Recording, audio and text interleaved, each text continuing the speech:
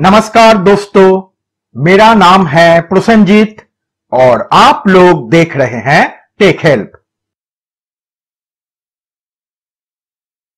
दोस्तों, आज हम इसे बनाना सीखेंगे। ये एक इंस्टेंट आइस मेकर है। तो चलिए शुरू करते हैं और इसे बनाना सीख लेते हैं।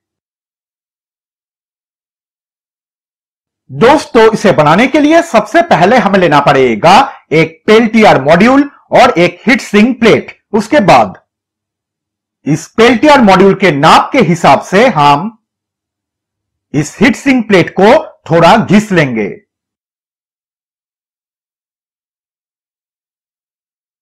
अब हमें लेना पड़ेगा थोड़ा सा हीट सिंक पेस्ट। उसके बाद इस हीट सिंक पेस्ट को हम इस हीट सिंक प्लेट के ऊपर ऐसे लगा देंगे।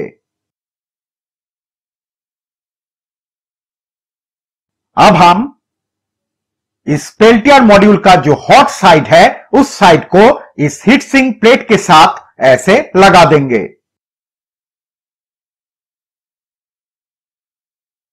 अब हमें लेना पड़ेगा एक 12 वोल्ट पीसी कूलिंग फ़ैन। उसके बाद इस फ़ैन को हम इस हीट सिंक प्लेट के साथ गम से ऐसे लगा देंगे।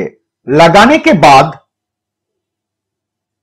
इस फ़ैन का नेगेटिव तार हम इस पेल्टियर मॉड्यूल के नेगेटिव तार के साथ और इस फ़ैन का पॉजिटिव तार हम इस पेल्टियर मॉड्यूल के पॉजिटिव तार के साथ कनेक्ट कर देंगे।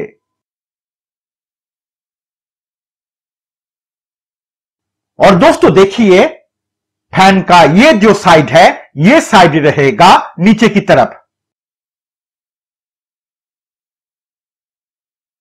अब हमें लेना पड़ेगा एक पतला प्लास्टिक का सीट। उसके बाद इस प्लास्टिक सीट को हम इसके चारों ओर गम से ऐसे लगा देंगे।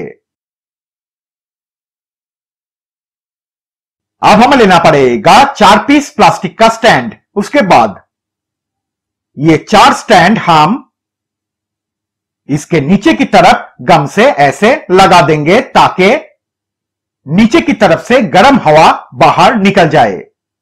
तो दोस्तों, ये इंस्टेंट आइस मेकर तैयार हो चुका है। तो चलिए, अब हम इसे चेक करके देखते हैं।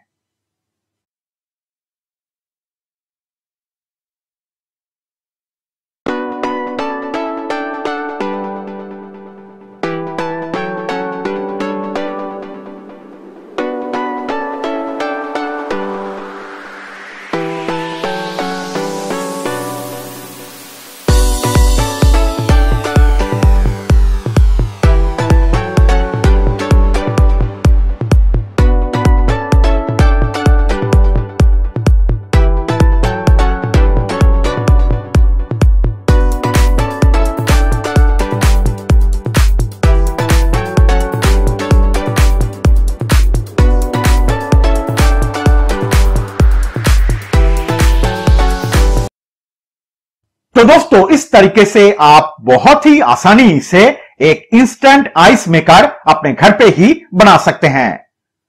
तो दोस्तों, आज इतना ही। आप लोगों से फिर बात होगी अगले ट्यूटोरियल में।